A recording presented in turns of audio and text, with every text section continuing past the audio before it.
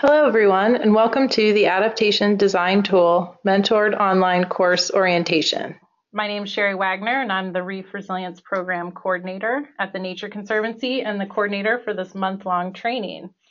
Today, I'm going to give you a brief orientation and overview of the course, and then we'll hear from our mentors, Jordan West, who will give an introduction to the content of the course, and Eric Conklin and Tova Callender, two marine practitioners working in Hawaii who will describe their experiences using the tool.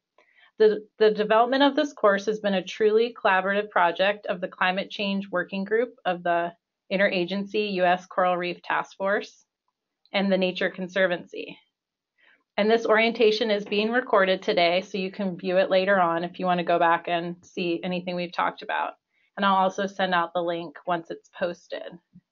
So to get us started today, we just wanted to find out who was on the phone give us a better idea of who's joined us today. So I have a few poll questions for you. I'll go ahead and launch the first poll. So the question is, what's the focus region of your work? Do you work in Atlantic Ocean, Pacific Ocean, Indian, across multiple ocean basins, or globally, or other? So I'll just give you a minute to respond, and then we'll show the answers. Okay, so it looks like a lot of Pacific uh, Ocean folks, and it might just be the time of the call today. Um, that uh, that's the case. And the next question is,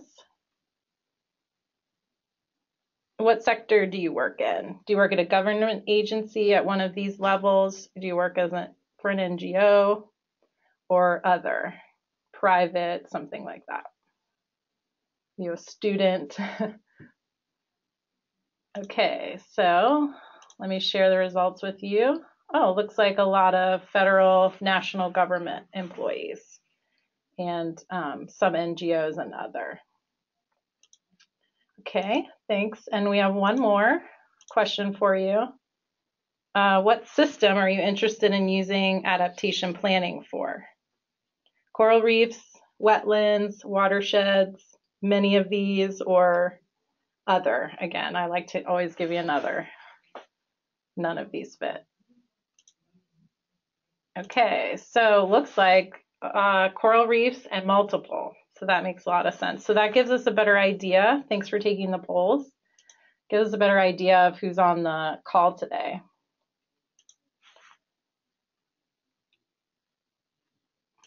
So um, I also just we had someone, um, David Gibbs, who's on the call, make this map for us of the people that registered today for the webinar. You guys are um, across the world, US, Caribbean, um, South America, Central America, Africa, Middle East, India, Madagascar, Indonesia. I just picked out some of the places, American Samoa, Fiji, um, 32 countries as of now. So these will be people um, that will probably be in the course with you that you can um, know that are taking the course at the same time as you, which is great. So welcome everyone. Um, so here's the outline for today's webinar. First, I'll give background on the Reef Resilience Network.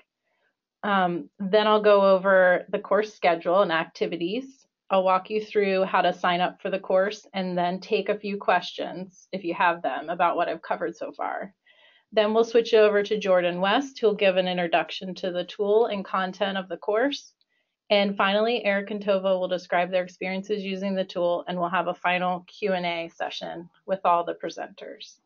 And so on this GoToWebinar, there's two ways you can ask questions. Um, you can type into the question box at any time your question, um, or during the question period, if you raise your hand, which you do by clicking on the small hand icon on the toolbar, and you're able, you have audio, then we can actually call on you. So we might try that too. Um, we'll see. And so if you're having any difficulties, such as trouble hearing or seeing slides, send me a message via the question box, that same box, and I'll try to help you resolve the issue.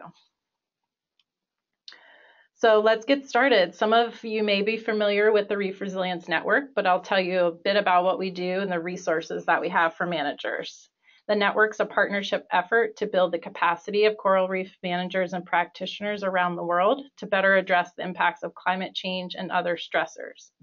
And we do this, we build capacity through providing access to new coral reef science and management strategies, virtual capacity building activities such as this online course and webinars. And we'd also do in-person trainings and learning exchanges to build manager skills. And we've been conducting in-person training since 2005 and have reached managers from 75% of the countries and territories with reefs in person, in person and in, with online trainings like this one. So our toolkit, the Reef Resilience Toolkit, reefresilience.org is an online hub. It has a number of modules can, uh, covering science and management strategies for resilient coral reefs and reef fisheries, effective communication strategies, and community-based adaptation. And we're in the process of developing a new reef restoration module uh, with partners as well, which I think we're going to launch by the end of this month. And we also have over 40 case studies highlighting lessons learned and best practice, practices managing coral reef ecosystems and supporting resilient communities. And you can also view past webinar recordings, uh, find other online courses, and our network forum where you can connect, share, and learn from others about how to better manage marine resources. So now we'll take a deep dive into the course schedule. Um, this is an overview of the course, which runs from for one month from today until November 17th. There are four self-paced lessons, three webinars, and learning exercises throughout. And the time commitment we estimated for the course is about 8 to 10 hours over the month. After this orientation webinar that you're on today, you can enroll in the course and begin the lessons. Lessons one and two and the reading assignment will help introduce you to climate smart planning and the adaptation design tool and will take approximately one and a half hours to complete. During this time, you'll be able to interact with course mentors by posting questions and comments on our online discussion board. Then you'll move on to the next section of the course, which focuses on climate smart design for existing management actions. Lesson three in the assignment will take you about two and a half hours to complete. You also have the opportunity to post questions and comments for our mentors on the discussion board. Then a second webinar will be held to go into more depth on the content and assignment that you completed in that section. Then moving on to the final section of the course on expanding your list of management actions and using the tool results to inform other steps of the climate smart conservation cycle. This section also includes an online lesson, assignment, and Q&A. And then there's a concluding webinar, and which will take you about, this whole time will take you about one and a half hours to complete. And then magically, a pot of gold appears when you get to the bottom of the ocean. I hope that's how you feel um, once you take the course, like you've got really gotten something out of it.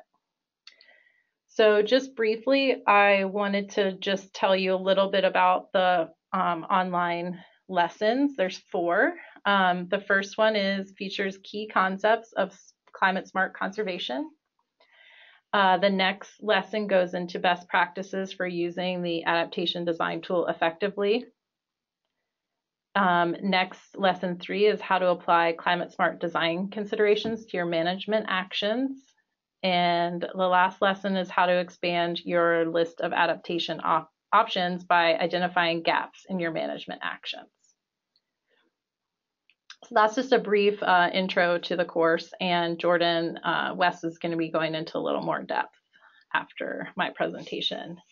So I wanted you to meet the team of people. There's actually, of course, more people that were helped develop the course, but these are the folks that are most involved uh, with you as you journey through taking this course, course with us and you'll have a chance to interact with these mentors and staff. Um, all of our mentors include experts in coral reef conservation and management, reef resilience, coastal adaptation, uh, wetland ecology, ridge to reef management, and community climate adaptation. And they have decades of field experience uh, among them that cover reef regions around the world. These experts will be available to answer your questions on the network forum and on our webinars, and their role is to enhance the lessons by sharing their knowledge and experiences with you. And they'll be a resource for any questions you might have on the course content. And they're all terrific and very excited to get to work with you. And I just wanted to make a special uh, introduction to Jillian Silvertand up here. Jill She's not on the webinar today, but she's our technic, technical expert and can help on any technical issues you have with the online lessons. And you'll see her email on the course page for contacting her if you have any problems. So now um, let's take a look at the online course online.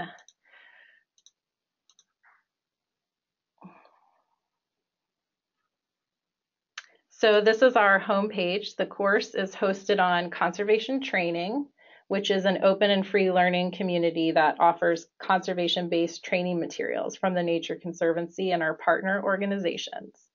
And this uh, course, this is our direct course page, which contains all the information that you'll need to take the course, links to the lessons and assignments and webinars and dates for um, completing all the sections.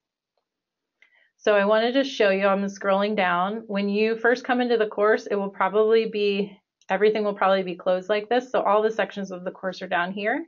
And you can either click over here to open them all and see them, or you can just open one section at a time. So I'll just show you, I just click this and on, under getting started, there's information about um, and technical requirements for the course and how to take an online course just going to click on there to show you. There's a lot in here about navigating through the course room.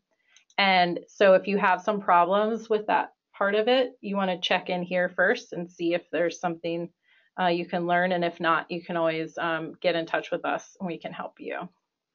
Um, to navigate back from uh, back to the home page, you're going to go up here to these breadcrumbs, as we call them. You're just going to click there and it's going to take you right back. So then I'll just scroll down. So here's the getting started section again. Here, if you click on mentor bios, this is information about all the mentors in the course. And you can just click through the list here to read their bios and find out more about what they do. Um, so this is the first section of the course here. I'll just show you we're doing the orientation webinar right now and we'll put the recording right here. There'll be a link if you want to um, listen to it again or find some part of it. And then as you see, the next sections of the course are here. So I just wanted to show you, this is the first section after the webinar. And here's where you get to the self-paced lessons. So you just click to open a lesson and click enter, and then you'll see the lesson will open in the same window. And you can always uh, leave uh, the lesson anytime and come back, and it'll ask you if you want to uh, go resume to where you were. So that will launch the lesson there. And I'm just going to point out the navigation is long here down at the bottom of the page, almost like a tab on a web page. And then the same thing to go back. I just need to find exit activity, or again, I can click up here on the breadcrumbs. So the when you finish a lesson, a check mark will appear next to it like these down here in this little box and you'll need to complete all the lessons and the course survey in order to download your course certificate of completion. So anyone can get one of those if you've gone through all of the lessons. So I'm just going to go back to my presentation and go through a few more things. Now you um, will have to create a course account to be able to get into the course page that I just showed you. So basically you want to go to conservationtraining.org where I just was, and you'll click up here to sign up, fill out the um, form here and click, click create my new uh, account. And then you'll get a confirmation email from Conservation Training admin desk. And apparently it might go to your spam folder according to them. So please check that as well. And then you can confirm your account by clicking the link in the email. And then one more step is you need to enroll in the course. So that just sets up your account to use in conservation training.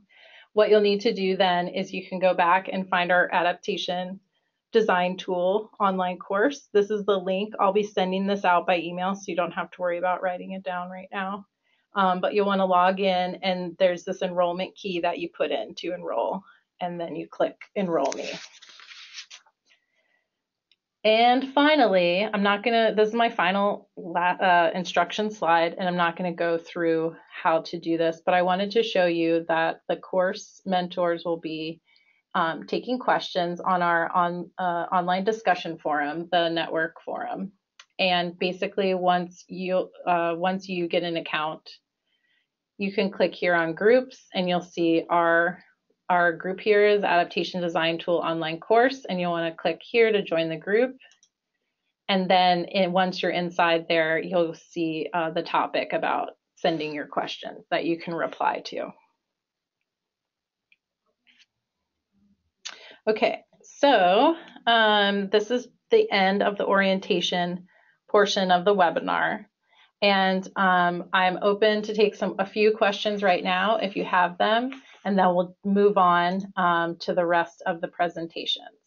So again, you can um, type your question into the question box, um, or you can raise your hand and I can call on you. So I'm just gonna check and see if we have any questions here so far.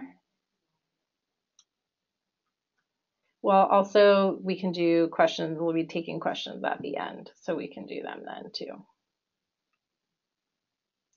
Okay, it looks like we've got a few here. So can you say a bit about how much is reef specific versus more general? I think we'll go into that a little bit in Jordan's presentation. So let's um, wait for that part. We'll wait for that question. Um, and then the other question is a course free of charge. Yes, the course is free. All the webinars are free. The the um, the whole course is free. So thank you for your questions. And um, now I will turn it over to Jordan West, who'll go into more depth about the content of the course and introduce some concepts to you. So Jordan, I'm switching it over right now to you, and we should be getting your screen in a minute. Great, I can see it. Thanks. How does it look? Great. All you. Excellent. Well, I want to start on, on behalf of my uh, co-lead, Britt Parker, and myself, as well as our larger project team, to welcome everybody. Thank you so much for your interest, um, allowing us to share this tool, but more importantly, we'll be learning so much um, as you, in a sense, join the team and help us continue to test it and refine the ideas. We're really excited to be here. And for those of you on the phone, thank you. For those of you not on the phone who might be listening to this recording later, thank you for um, making an effort to um, attend afterwards. So the reason that we're all interested in this topic is that we're all aware that there are serious implications of climate change for natural resources and therefore for how we manage natural resources. Um, if you're thinking about coral reefs, you're probably fairly familiar with many of the direct and indirect effects of climate change. If you happen to work on other systems, you can probably insert your own stressors here. Um, it's all about direct effects of climate that might be, in the case of coral reefs, due to thermal stress causing bleaching, um, morbidity and mortality or direct damage from increased storms. Uh, you can have similar effects with other systems. There's a lot of interactive effects where climate change's effects on precipitation um, might be changing runoff patterns and amounts, uh, might be having effects on sedimentation along with sea level rise, having all kinds of effects on their follow-on effects on disease, um, ocean currents are, are being altered to some extent, which can affect connectivity between aquatic systems. And then we have this specter, this more recent specter of ocean acidification, um, which uh, is due to uh, the related factor to warming, CO2, and changes in ocean chemistry. So we came together on this project asking how can we respond to these changes by doing more than simply saying we need to manage the stresses we're already managing and just do it better or more, but differently because climate change has effects on the way the stressors are behaving and climate change can have effects on the way our management practices even work. What does it look like to try to become more climate smart with what we do? I want to just quickly show our Crackerjack Corals and Climate Adaptation Planning team. Um, you'll see Britt Parker's name. Also, David Gibbs here is um, an EPA fellow who, uh, along with Britt and myself, will be the three main mentors for the team. But we had um, really great technical team from Tetra Tech, as well as participation from Department of the Interior, um, uh, EPA, uh, some private consulting, and of course, um, the Nature Conservancy. But really, this team was part of an even larger team. As, as Sherry mentioned, um, this is a collaborative effort of the Climate Change Working Group of the U.S. Coral Reef Task Force. Um, this is an interagency group tasked to lead U.S. efforts to preserve and protect coral reef systems um, through coordination with 12 federal agencies, seven U.S. states, territories, commonwealths, and three through the associated states. So we had a really large network of um, partnerships and participants that we could use to, to test, to first conceive this whole um, effort and then test it. Our starting point was this Climate Smart Guide to Conservation, which came out in 2014, and some of us on the team were involved in producing this document. It's kind of a, a soup to nuts um, explanation or examination of the latest that experts in adaptation have to say about uh, how to integrate climate change considerations throughout management planning for natural resource conservation. As such, it covered all types of systems, used a, a variety of examples um, to develop higher level principles and practices. Um, so as such, it was still a fairly high level document. And we realized that there's a need to tailor and test the applicability of these principles in real world situations with specific systems in specific places. Um, so our goal with our effort through the Coral Reef Task Force was we felt that Coral Reefs is a perfect system to tailor and test climate smart adaptation plan, planning principles. In this case, for coral reef management, um, making sure that we're building on uh, advances that have been very rapidly occurring on the ground especially in the areas of vulnerability and resilience assessment methods for coral reefs. So marrying the on-the-ground thinking with these higher level principles. Um, the overview of, of, the initial sort of uh, translation that we did has been published in Environmental Management and is basically the overview topic of lesson one of the course. Um, let me mention here that all of the documents that I'm showing you are accessible through links within the course module, so you can access these um, at any time if you want to. So briefly, the climate smart approach is based on thinking about a generalized planning cycle. This isn't meant to invent, invent some kind of new cycle. Anyone who's thinking about uh, developing a management plan probably has some variation on these seven steps that they have to carry out. The climate smart process is really about putting a climate lens on every step of planning to think about where climate considerations are relevant. Um, now, given in the case of coral reefs, uh, the coral reef community's very sophisticated knowledge and methods for vulnerability and resilience assessment um, there's a lot of information on how to do vulnerability and resilience assessments, a lot of information out there, uh, which is not to say we can't always improve on those methods, but we felt that the, the real place we wanted to really push forward was here in step four. How do you take sort of general ideas in a climate smart guide or even um, in the literature for your system, take those general ideas, um, brainstorm options that would work for your place, and think about making them climate smart. And the central piece of this is this idea of taking general strategies from the literature um, that might list a variety of options, but then this process, process of applying a rigorous climate smart design piece. Um, and the purpose of that is to make uh, your description of your action more climate smart so that you can have a, a more robust way of comparing your actions and thinking about their effectiveness so that you can evaluate and select your final list of priority actions in a more climate smart way. Um, I want to note that the tool can be used at multiple levels. Um, while we originally conceived it here for step four, to brainstorm many options and, and look at their climate smart design, we have found with our partners that it, it is also being used um, quite a lot in step six. In other words, once priority actions have been selected down to a small number, folks are returning to the tool and um, with subject matter experts for particular projects and, and going to a more detailed level of planning or of climate smart design. And that basically is generating your technical um, results for your implementation plan. So we'll be focusing on step four. We will be focusing on coral reefs because um, climate smart design is really about getting very specific about the design of an action for a particular system, for a particular place.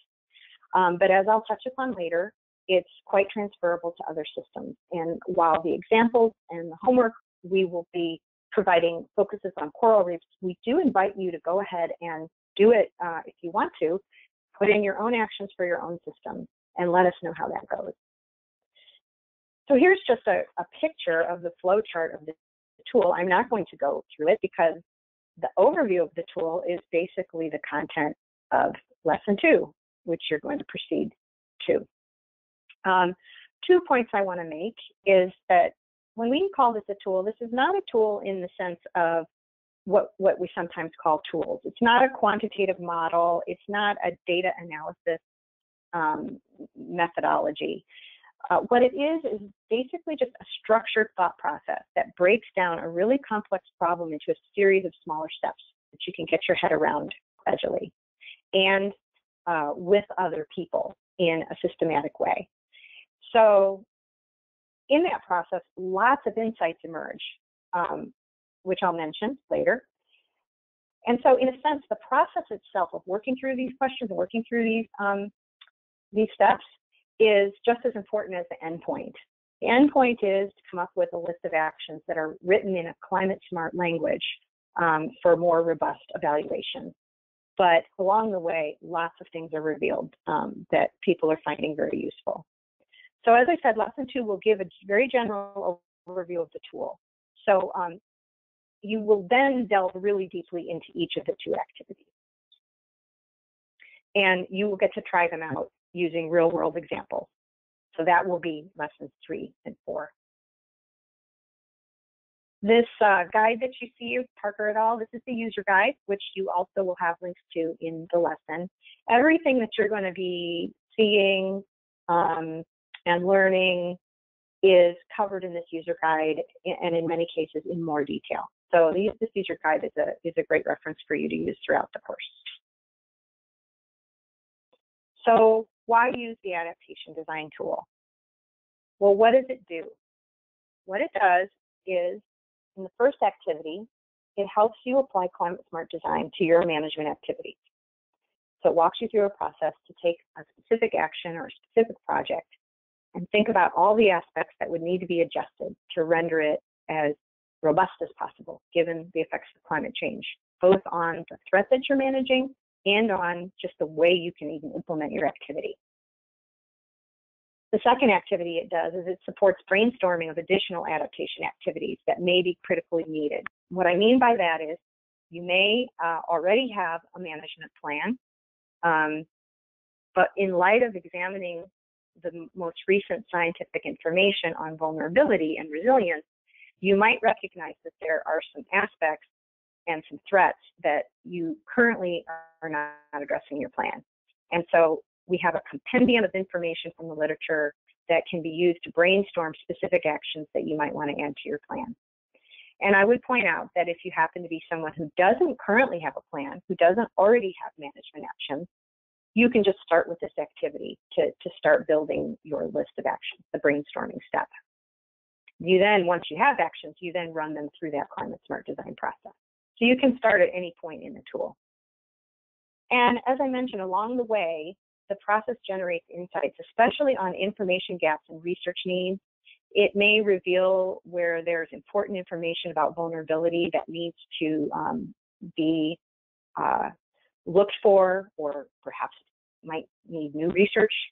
Um, so information gaps uh, about the biology, about the climate effects, about the vulnerabilities, Um, and you also get insights on what starts to come up is when you think in more detail about your actions, you begin to think how your action might interact with other actions in your plan. In other words, what are some of the synergies or trade-offs or conflicts um, that, that, you might have between the action you're thinking about and another action? Are there any sequencing considerations where you would really need two actions to go together in order to get the um, outcome that you want, and they might need to be sequenced or they might need to be done together? What does the tool not do? Well, it doesn't do a vulnerability assessment for you. One of the important information resources that you do need to have in order to use the tool is vulnerability and resilience assessment information. That's step two of the cycle. And while while generating a vulnerability assessment is outside the scope of this tool, we do provide some information in the guide um, about where you can go uh, to do to um, figure out how to do basic summary vulnerability assessment and where you can get some resources.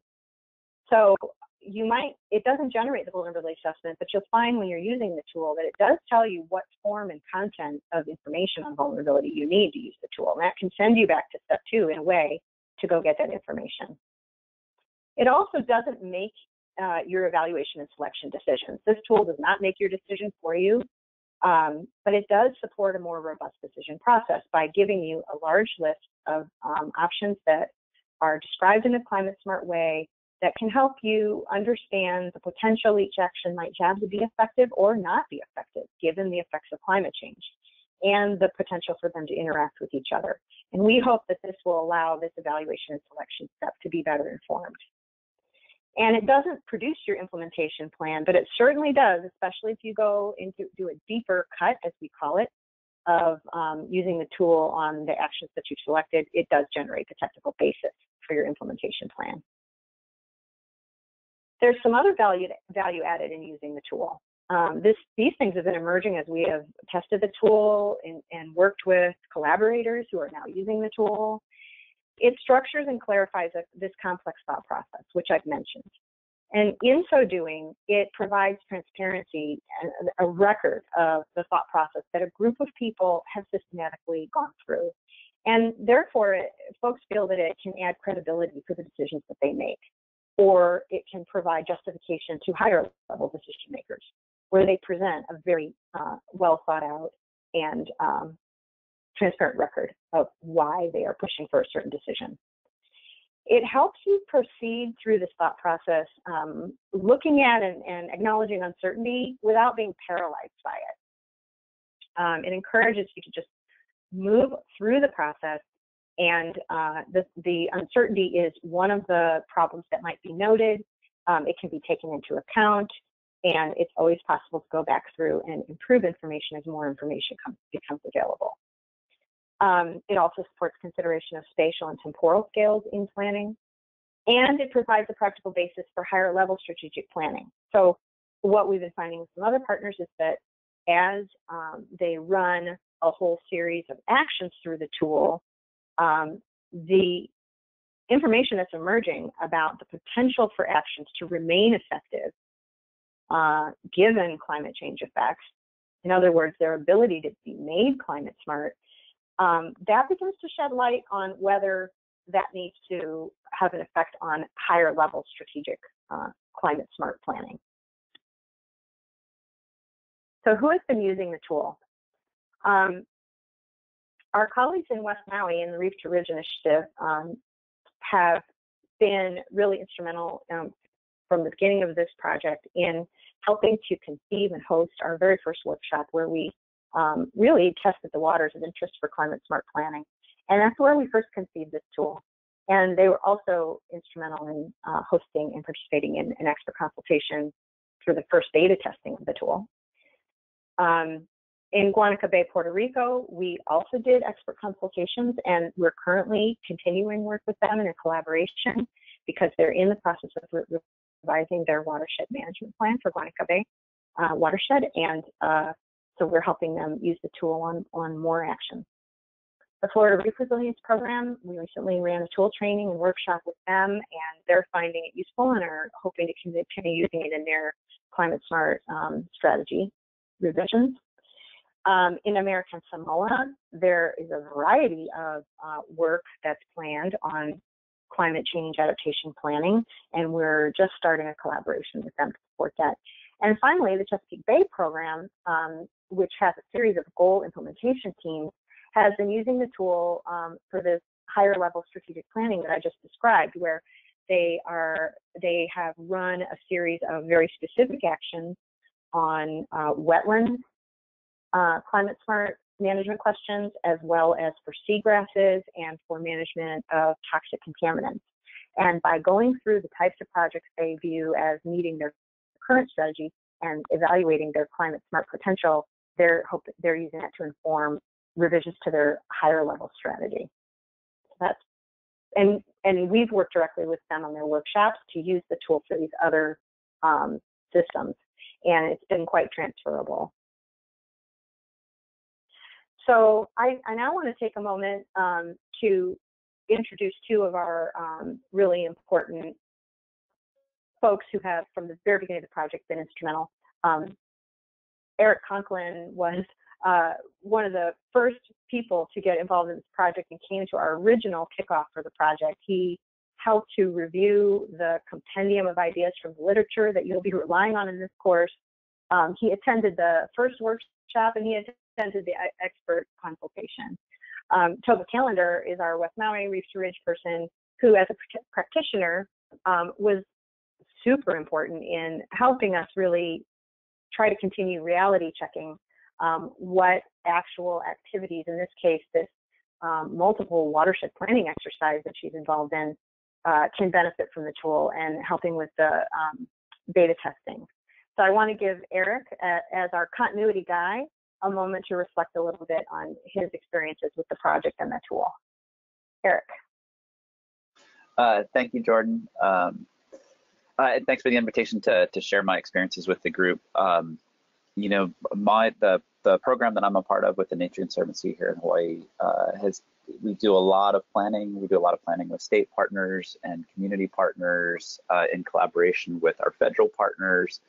And through all of these different planning opportunities, you know, we know climate change is important and we know it's something that we need to factor into our planning activities. But frankly, we've really struggled over the years to, to incorporate that in a meaningful way.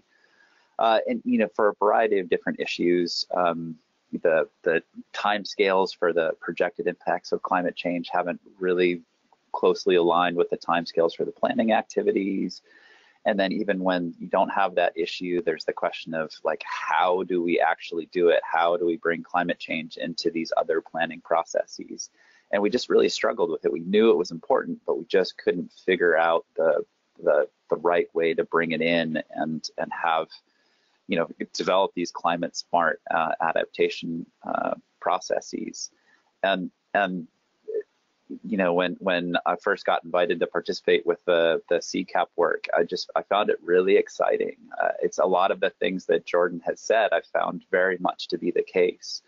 Um, it's it's the structured process that it provides is a great way to to help think through that that like how to bring that climate change piece in, how to make it real, how to make it tangible, how to make it not this huge daunting task that I couldn't possibly think about how to incorporate, but how to break that down and be like, oh, okay, I, I see this. I see how I can bring this in. I can take this step. I can ask these these straightforward questions that the tool pr- prompts you with to say, hmm, let me evaluate the the threats that I'm considering, or let me uh, evaluate the the the likely long-term success of these strategies that we're talking about in light of changes that we expect through uh, through climate change. And those prompts and examples and that compendium of, of information that they've pulled together I've just found to be incredibly helpful to uh, to, to be able to think through uh, how to bring those that climate change piece in in a very real way. Uh, our program tends to use conservation action planning or the open standards for con conservation. One of the things that had me initially a little hesitant about this is, oh boy, another planning process. Uh, even if it's valuable, there's only so much time and energy and community uh, partner uh, sort of willingness to engage in, in another process. And one of the things that I love about this is how flexible it is and how easy it is to adapt and incorporate into existing planning processes. Like like I said, we use the conservation action planning or open standards and and it's actually very straightforward and intuitive how you can incorporate these climate smart principles and the questions and prompts and compendium information how you can incorporate that into the existing conservation action planning process and come out the other end with a, a much improved and climate smart uh, uh, plan. So, um, so I'm really excited about it. We're just now um, in the process of starting to integrate these design principles into the new conservation action plans that we do and reviews of existing conservation action plans but uh, I, I, think it's a fantastic tool. I think it's got a ton of potential. Again, I love how flexible it is, and and I think it's a great opportunity for you guys to to to learn more about it and see how it fits for you. I, I would fully expect that your experience will will be like like ours has been, and find it a very uh, straightforward, valuable, structured way of making something that seems almost impossible tangible and meaningful and achievable that's all I got to say. Thanks, Eric. Tova, and um, especially from the more specific perspective of the Reach Ridge initiative, um, what are your observations? Well, there's going to be a lot of echoing of things that have been said uh, because it is really uh, a very helpful tool in translating complexity to something you can manage so my role was to be a part of that first workshop in July of 2014. A lot of stakeholders were brought together.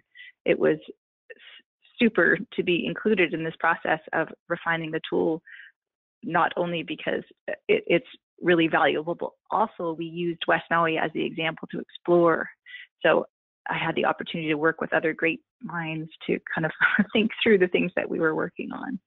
Um, and then in the second consultation, we were working more, that was in 2016, working more on uh, specifically step four that Jordan highlighted and um, looking at how the stressors were changed by climate change and then looking at our management actions that we were already starting to work on in our existing plannings and looking at the interactions and timings. So um, we did uh, get to much deeper thinking. Sometimes it's not what is immediately apparent when you're going through a process of, of digging in more deeply into the stressors separate from the mitigation actions and then looking at the, the relationship between the two, you get farther along. Prior to being involved in this process, we'd sort of done climate planning light, sort of a one day version of, of thinking just through what are the stressors that are impacting. Uh, but this was a, a whole other level uh, that we could get to.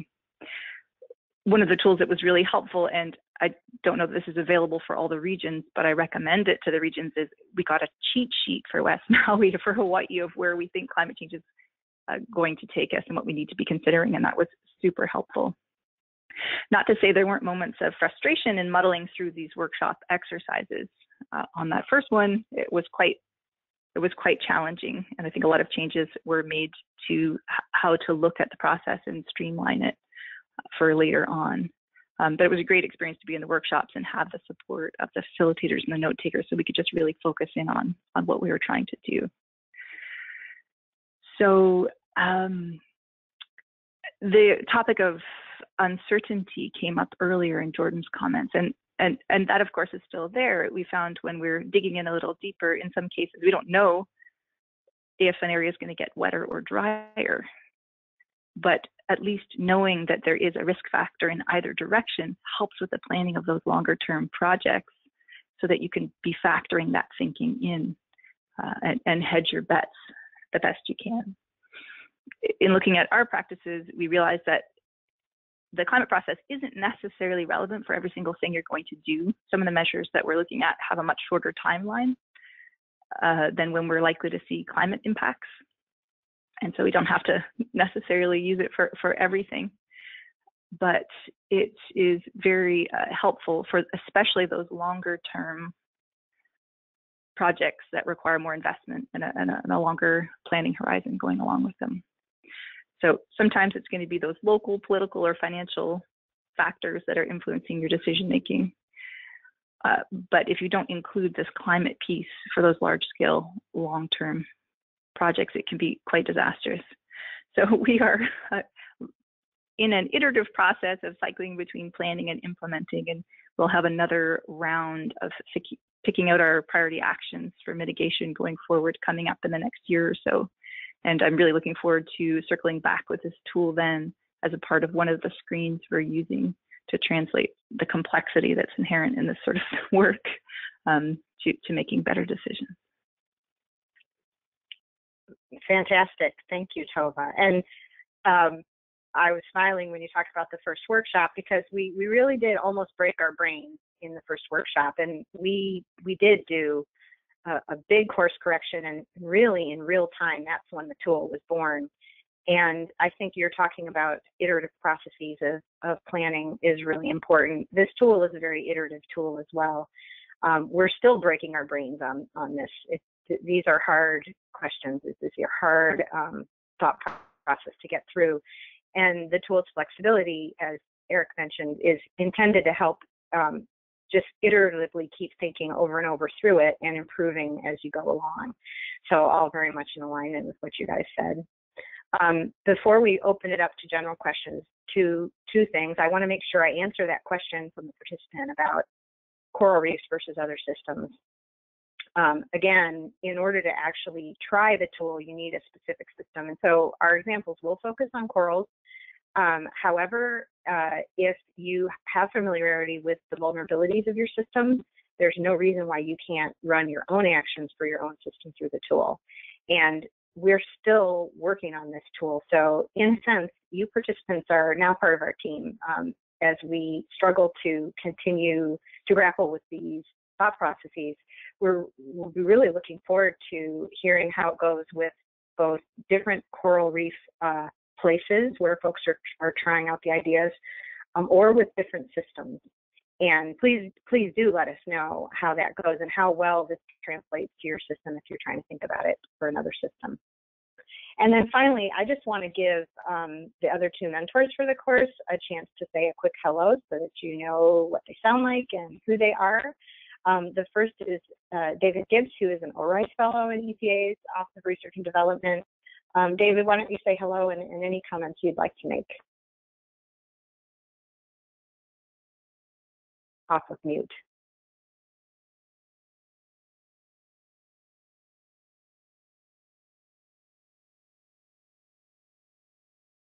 Okay, we don't seem to have David at the moment. Can you hear me? Ah, yes, now I can hear you. Go ahead. Okay, sorry about that. Um, I'm David Gibbs. I'm a research fellow at the EPA, and I am thrilled that all of you are going to take this course. Um, I've been testing the adaptation design tool out with some partners in Puerto Rico, um, and it's worked pretty well so far. But um, we, you know, we always want more experience with it. So if you, like what Jordan said, if you guys use the adaptation design tool for any of your own projects, you know, in ways that we talked about or ways that we did not anticipate, we would love to hear about it. I look forward to working with you on the course and let me know if you have any questions. Thanks. Thanks, David. And my esteemed colleague and co-lead of the CCAP project is Britt Parker of NOAA. Britt? Hi guys. Um, I just reflect uh, or um, what David said that we're really looking forward to working with all of you, and um, this has been uh, a long labor of love, and, and we're really thrilled to launch the course today and have all the resources out there working with our partners at the Nature Conservancy.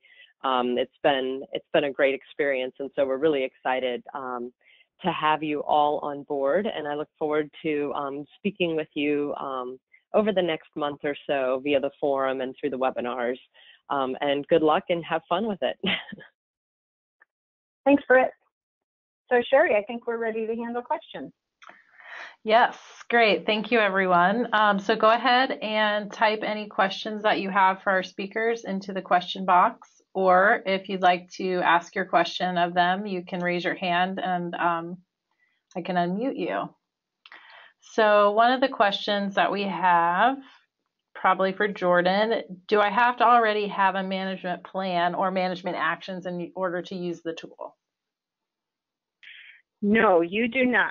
Um, the two activities of the tool um, can you can start with either activity one or activity two. Um, we start by talking about an existing action as an example um, because uh, a lot of folks who are using the tool do already have a plan. However, the second activity of the tool is to brainstorm the actions that you want to put into your plan. So if, if you don't ha already have a plan and you're just building one, you would just begin with activity two of the tool. And then once you have some actions that you've selected through that brainstorming exercise of activity two of the tool, then you would climate smart design them. So in this course, we'll be, you know, starting with some actions, but it could go the other way in, in practice if you were building a plan from the ground. Great. Um, okay, another question. This is for Eric. Could Eric say more about how it integrates well with open standards? Eric, you might have to unmute yourself. Yeah, uh, uh, sure. I mean, it, it's just um, let's see, it you can essentially uh, uh, treat it in a very modular way and essentially take the module from the climate smart adaptation and apply that to the relevant part of the open standards process. So when you're evaluating threats, there's a series of prompts and questions that CCAP has developed that you can just apply into the evaluation of those threats. So like questions like, you know, this is your threat now, but how do you expect it to change? And examples of the kinds of changes you might expect to see. And I have found that very useful to say, hmm, okay, here's my current threat, but but by looking at those prompts, I'm evaluating that threat and the trajectory of that threat a bit differently. And then similarly, when you move on to the strategies, it's okay, like we tend to focus on the sort of short term and like the open standards process for evaluating threats. You know, you've got that generally sort of five year time horizon for evaluating the, the efficacy of a strategy. But the prompts, questions, examples within CCAP, I think really help refine that and and help you think about that longer term climate change adaptation piece and can highlight examples of strategies that might work great today, but are going to start failing a few years down the road as as the threats and changes from climate change start um, coming down the pike. So, like to, to me, those are the sort of core things. Is is just a a series of of questions, prompts, examples, um, that that you can essentially just bring into the the, the open standards uh, discussions of threats and strategies and really help make those much more robust and climate smart. Great, thanks. Um, someone asked, uh, will we receive certificates for this training? And I mentioned them a bit when I was talking about going through the lessons. Yes, there's actually a self-downloadable um, certificate that you can get after you go through the lessons and take the survey at the end. So you'll see that on the training page. Um, another question, Jordan, do we need a specific case study to work on for this course? So it's kind of related to the management plan, but it's a little different. Um, well, it, you you will be provided with examples um, when you take the lesson. So if you have don't have your own case study, um, both when going through the lesson, you'll be given examples, and then our little homework exercises where you get to try it out for yourself, you will also be provided with um, both vulnerability information and specific actions that you can use. So in this case, it'll be for Guanica, Puerto Rico, and you you would just pretend that you're them. Um, however, as I said, if for folks that do have their own, you, you can use your own instead. And you really do need to have a particular place and particular actions because that's really where the rubber hits the road um, and where the theory becomes practice. So, um, like I said, the specific examples um, that you can use will be provided. Okay, another question, um, I think for Jordan also. Do the ideas that come up with the CCAP tool include socioeconomic considerations, management options, and considerations, or is it exclusive to biophysical? So um, that's a really, really great question because it allows me to mention that, you know, as I said, when I said that lots of insights emerge, um, there are these notes columns in the worksheets where we encourage um, we encourage you to write down the things that come up that are not purely the ecology piece, not purely the biophysical piece, um, because while we're focusing on, you know, what is the technical climate smart potential for manipulating the system in this way or for, you know, dealing with a stressor, that's the focus of the tool.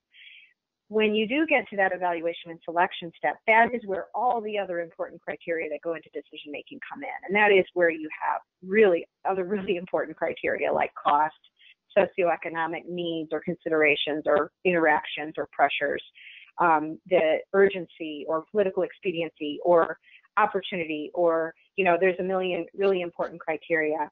And so that those things do naturally begin to come up and we record that in these notes columns and that goes into that um, information and uh, gaps and information needs. Often from that column comes not only what do we need to, to research to understand vulnerability better but often it also includes hey, there's this really important socioeconomic consideration. Let's write down this reference, this paper. We're going to need to come back to this when we do evaluation selection. It's an, it's an important link.